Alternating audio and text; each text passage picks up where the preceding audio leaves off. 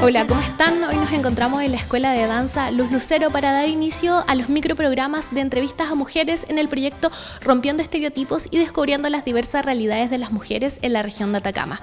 Este programa es financiado por los fondos de fomento de medios de comunicación social del Gobierno de Chile y del Consejo Regional de Atacama de este año 2023. Hoy entrevistaremos a la maestra Luz para saber un poco lo que es la danza en la región y además veremos un poco de sus clases.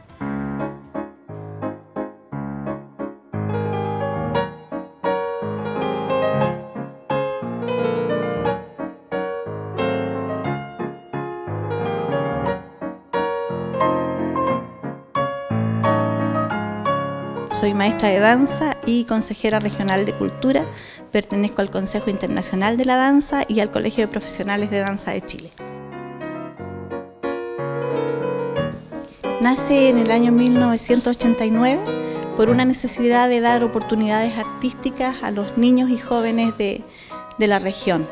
Eh, empezamos siendo muy poquitos y bueno, ya centenares de niños han pasado por nuestra aula y muchos de ellos abrazando la carrera de bailarín y otros llevando la vida disciplinada y responsable de lo que es un, profesional también. Entonces yo empecé siendo muy, muy chiquitita, a los tres años mi mamá me, puso en, en, una escuela de ballet, en una academia, para posteriormente ir siguiendo, siguiendo hasta llegar al Teatro Municipal en, en Santiago y ya terminar mis estudios y posteriormente eh, hacer un cuerpo de baile, pertenecer a un cuerpo de baile y ahí, bueno, nace la, la, la pedagogía, con diferentes cursos y cosas en que uno se va también especializando.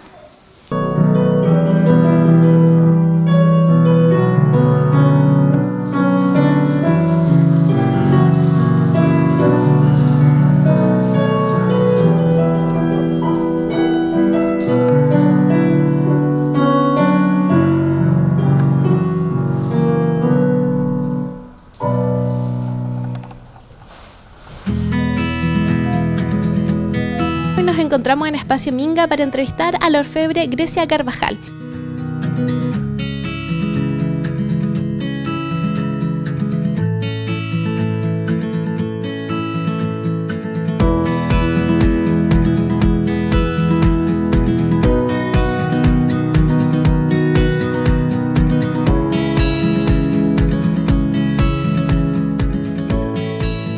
Que nos cuente qué es lo que es ser orfebre acá en la región.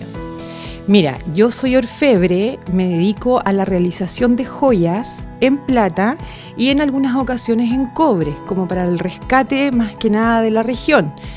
Eh, mira, es una, es una profesión, porque yo estudié, eh, muy bonita, muy bonita, muy dedicada. Anteriormente como que siempre se relacionaba a los orfebres con varones. Pero ya hace un tiempo ya las mujeres nos hemos posicionado en, esto, en esta linda actividad de la orfebrería, eh, donde se realizan joyas. La diferencia con la joyería, más que nada, es que las piezas son únicas. Ya se realizan diseños inspirados y son únicos.